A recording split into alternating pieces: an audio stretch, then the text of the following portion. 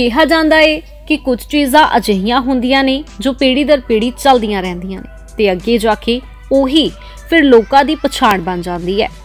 ਅਜਿਹਾ ਹੀ ਜਲੰਧਰ ਦਾ ਇਹ ਪਰਫਿਊਮ ਵਪਾਰੀ ਹੈ ਜਿਸ ਨੂੰ ਤੇਲ ਵੇਚਣ ਵਾਲੇ ਦੇ ਨਾਮ ਤੋਂ ਜਾਣਿਆ ਜਾਂਦਾ ਹੈ।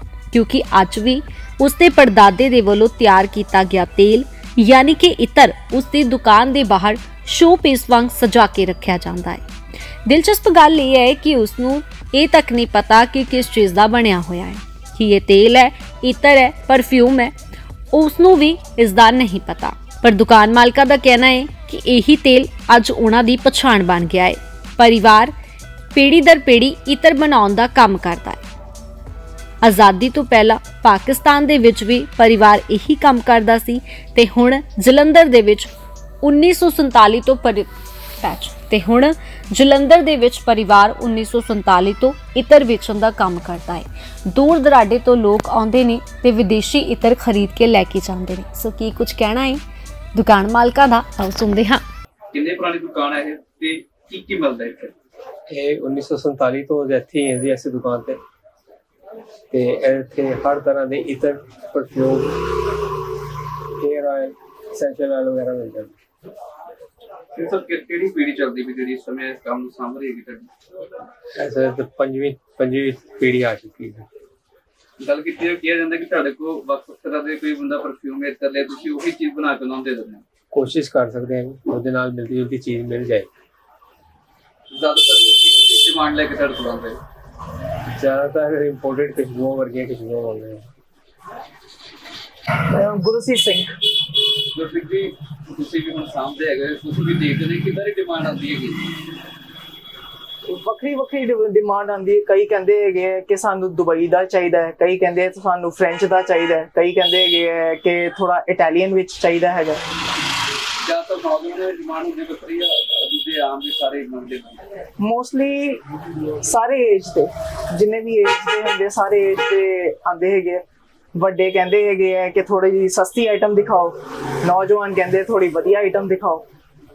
ਜੇ ਇਤਰ ਦੀ ਗੱਲ ਕਰਾਂ ਜ਼ਿਆਦਾਤਰ ਕਿਹੜੀ ਫ੍ਰੈਗਰੈਂਸ ਲੋਕ ਪਸੰਦ ਕਰਦੇ ਹੈਗੇ?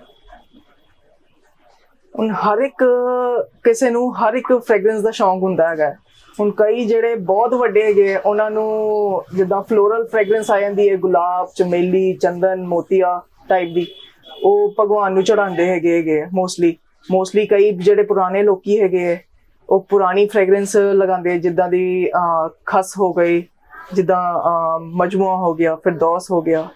ਇਦਾਂ ਪੁਰਾਣੀ ਚੀਜ਼ਾਂ ਉਹ ਪੁਰਾਣੇ ਜ਼ਮਾਨੇ ਦੇ ਲਗਾਉਂਦੇ ਅੱਜ ਕੱਲ ਦੇ ਜਿਹੜੀ ਨੌਜਵਾਨ ਹੈਗੀ ਹੈ ਉਹ ਮੋਸਟਲੀ ਕਹਿੰਦੀ ਹੈਗੀ ਸਾਨੂੰ ਡੀਓ ਟਾਈਪ ਚਾਹੀਦੇ ਹੈਗੇ ਦਾ ਫ੍ਰੈਂਚ ਚਾਹੀਦੇ ਹੈਗੇ ਉਦਾਂ ਦੇ ਸਾਰੇ ਮੰਗਦੇ ਅੱਜ ਕੱਲ ਗੱਲ ਕੀਤੀ ਜਾਵੇ ਇੱਕ ਆਇਲ ਵੀ ਤੁਹਾਡੇ ਪਿੱਛੇ ਨਜ਼ਰ ਆ ਰਿਹਾ ਤੁਸੀਂ ਦੱਸ ਰਹੇ ਸੀ ਬਹੁਤ ਪੁਰਾਣਾ ਆਇਲ ਹੈਗਾ। ਕੀ ਖਾਸੀਅਤ ਕੀ ਹੈ ਇਹਦੀ ਤੇ ਕਿੰਨਾ ਕੁ ਪੁਰਾਣਾ ਹੈ? ਇਹ ਜੀ ਜਦੋਂ ਦੁਕਾਨ ਖੋਲੀ ਸੀ ਉਦੋਂ ਦਾ ਹੀ ਰੱਖਿਆ ਹੋਇਆ ਬਣਾ ਕੇ ਬਜ਼ੁਰਗਾਂ ਨੇ। ਅਸੀਂ ਨਾ ਦੀ ਕਦੀ ਕੋਈ ਕੱਢਿਆ ਨਾ ਪਾਇਆ ਕੁਝ ਇਹ ਸਿੱਖ ਹੁਣ ਇੱਕ ਸ਼ੋਅ ਪੀਸ ਵਰਗਾ ਹੀ ਹੈ। ਨਹੀਂ ਜੇ ਕੋਈ ਤੁਹਾਨੂੰ ਪਤਾ ਤਾਂ ਹੋਣਾ ਤੁਹਾਨੂੰ ਕਿਸ ਚੀਜ਼ ਦਾ ਹੈਗਾ ਕੀ ਆਇਲ ਹੈ ਹੁਣ ਪਤਾ ਨਹੀਂ ਉਹਨਾਂ ਨੇ ਕਿਸ ਚੀਜ਼ ਦਾ ਆਇਲ ਪਾਇਆ ਸੀਗਾ। ਸਿਰਫ ਇਹ ਦੁਕਾਨ ਦੀ ਨਿਸ਼ਾਨੀ ਹੈਗੀ ਨਿਸ਼ਾਨੀ ਹੈਗੀ ਬਸ ਕਿ ਸਾ- ਸਾਡੀ ਦੁਕਾਨ ਤੇਲ ਤੇਲ ਦੇ ਨਾਮ ਤੋਂ ਫੇਮਸ ਹੈਗੀ ਹੈ ਤੇਲ ਵਾਲੀ ਦੁਕਾਨ ਹੈਗੀ ਹੈ। ਇੱਕ ਹੁੰਦਾ ਨਾ ਕਿ ਫੇਮਸ ਪਰਫਿਊਮ ਕੋਈ ਤੁਹਾਡਾ ਕਿਹੜਾ ਸ਼ਾਪ ਦਾ ਸਭ ਤੋਂ ਫੇਮਸ ਪਰਫਿਊਮ ਹੈ ਜ਼ਿਆਦਾਤਰ ਲੋਕ ਡਿਮਾਂਡ ਕਰਦੇ ਆ? ਜ਼ਿਆਦਾਤਰ ਲੋਕੀ ਮਸਕ ਵਗੈਰਾ ਮੰਗਦੇ ਮਸਕ ਵਗੈਰਾ ਮੰਗਦੇ ਹੈਗੇ ਹੈ ਹਾਂ ਈਟੀ ਮੰਗਦੇ ਹੈਗੇ ਹੈ ਐਵਰੈਸਟ ਹੈ। ਐਵਰੈਸਟ ਮੰਗਦੇ ਹੈਗੇ ਹੈ ਜਿਹਦਾ ਹੁਣ ਅੱਜ ਕੱਲ੍ਹ ਡੀਓ ਵਗੈਰਾ ਬਹੁਤ ਆ ਗਏ ਐਡਵਰਟਾਈਜ਼ਮੈਂਟ ਬਹੁਤ ਹੁੰਦੀ ਇਹਨਾਂ ਦੀ ਫ਼ਰਕ ਪੈਂਦਾ ਕੰਮ ਕਰਦੇ ਇਸ ਚੀਜ਼ ਨਾਲ। ਥੋੜਾ ਬਹੁਤਾ ਪੈਂਦਾ ਹੈਗਾ। ਹੁਣ ਜੇ ਉਹਨਾਂ ਦੇ ਪ੍ਰਾਈਸ ਵੱਖਰੇ ਹੈਗੇ ਸਾਡੇ ਜਿਹੜੇ ਸਾਡੇ ਪ੍ਰਾਈਸ ਵੱਖਰੇ ਹੈਗੇ ਅਸੀਂ ਜਿਹੜੀ ਚੀਜ਼ ਦੇਣੀ ਹੈ ਉਹ ਹੋਲਸੇਲ ਰੇਟ ਤੇ ਦੇਣੀ ਹੈਗੀ ਹੈ। ਇਹ ਗੱਲ ਕਰਾਂ ਤਾਂ ਜਿਹੜੇ ਆਇਲਸ ਹੁੰਦੇ ਜਿਹਨਾਂ ਨੂੰ ਸੀਤਰ ਬਣਾਉਂਦੇ ਆ ਇਹ ਬਾਹਰੋਂ ਆਉਂਦੇ ਕਿੱਥੋਂ ਫਿਰ ਤੁਸੀਂ ਆਪ ਨੇ ਚੀਜ਼ਾਂ ਤਿਆਰ ਕਰਦੇ ਹੋ? ਇਹ ਮੇਡ ਇਨ ਇੰਡੀਆ ਹੈ ਸਾਰਾ। ਕੈਮੀਕਲਸ ਪਰਚੇਸ ਕਰੀਦੇ ਹੈਗੇ ਫਿਰ ਉਸ ਤੋਂ ਬਾਅਦ ਅੱਗੇ ਪ੍ਰੋਸੈਸ ਸਟਾਰਟ ਹੁੰਦਾ ਹੈ। ਕਿੰਨਾ ਵੀ ਟਾਈਮ ਲੱਗਦਾ ਹੈ ਪ੍ਰੋਸੈਸ ਡਿਪੈਂਡ ਕਰਦਾ। ਡਿਪੈਂਡ ਕਰਦਾ ਹੈ ਹਰ ਚੀਜ਼ ਤੇ। ਨਾਰਮਲੀ ਗੱਲ ਕਰੀਏ ਘੱਟ ਤੋਂ ਘੱਟ ਕਿੰਨੇ ਦਿਨ? 2 ਤੋਂ 3 ਮਹੀਨੇ। ਦੋ ਤੋਂ ਤਿੰਨ ਮਹੀਨੇ ਲੱਗਦੇ ਆ। ਇਹ ਹਰ ਚੀਜ਼ ਦੀ ਪਹਿਲਾਂ ਟੈਸਟਿੰਗ ਕਰਨੀ ਪੈਂਦੀ ਹੈ, ਫਿਰ ਉਹ ਫ੍ਰੈਗਰੈਂਸ ਮੈਚ ਹੁੰਦੀ ਹੈ, ਨਹੀਂ ਹੁੰਦੀ, ਬਹੁਤ ਕੁਝ ਦੇਖਣਾ ਪੈਂਦਾ ਹੈ। ਉਸ ਲੈਵਲ ਤੇ ਕਸਟਮਰ ਨੂੰ ਪਸੰਦ ਆਏਗੀ ਕਿ ਨਹੀਂ ਆਏਗੀ? ਲੌਂਗ ਲਾਸਟਿੰਗ ਹੋਣੀ ਹੀ, ਹੋਣੀ ਚਾਹੀਦੀ ਹੈ ਕਿ ਨਹੀਂ ਹੋਣੀ ਚਾਹੀਦੀ? ਉਹ ਸਾਰਾ ਕੁਝ ਦੇਖ ਕੇ ਫਿਰ ਅਸੀਂ ਲਾਂਚ ਕਰਦੇ ਹੈਗੇ ਹਾਂ ਹਰ ਇੱਕ ਫ੍ਰੈਗਰੈਂਸ ਕਿ ਨੌਜਵਾਨ ਇਸ ਵਾਰ ਕੱਲ ਅਸੀਂ ਦੇਖਦੇ ਕਿ ਨੌਜਵਾਨ ਵਿਦੇਸ਼ਾਂ ਨੂੰ ਰੁਖ ਕਰ ਰਹੇ ਨੇ। ਤੁਸੀਂ ਆਪਣੇ ਬਾਪੂ ਜੀ ਨਾਲ ਮੋਢੇ ਨਾਲ ਮੋਢਾ ਲਾ ਕੇ ਇੱਥੇ ਬੈਠੇ ਹੋ। ਕੀ ਲੱਗਦਾ ਕੀ ਲੱਗਦਾ ਤੁਹਾਨੂੰ ਕਾਰਨ? ਕਿ ਮੁੰਡੇ ਬਾਹਰ ਕਿਉਂ ਜ਼ਿਆਦਾ ਜਾਣਾ ਚਾਹ ਰਹੇ ਹੋ? ਦੇਖੋ ਸ- ਮੈਨੂੰ ਉਹਦਾ ਬਾਹਰ ਜਾਣ ਦਾ ਸ਼ੌਂਕ ਨਹੀਂ ਹੈਗਾ। ਮੈਂ ਘੁੰਮਣਾ ਫਿਰਨਾ ਜ਼ਿਆਦਾ ਪਸੰਦ ਕਰਦਾ ਹੈਗਾ। ਜੇ ਬਾਹਰ ਜਾ ਕੇ ਇਹ ਹਰ ਇੱਕ ਦੀ ਆਪਣੀ ਆਪਣੀ ਸੋਚ ਹੈਗੀ ਹੈ। ਮੈਂ ਬਾਹਰੋਂ ਜੌਬ ਕਰਕੇ ਵੀ ਆਇਆ ਹੈਗਾ। ਮੈਂ ਇੱਥੇ ਕੰਮ ਕਰਦਾ ਪਿਆ ਹੈਗਾ।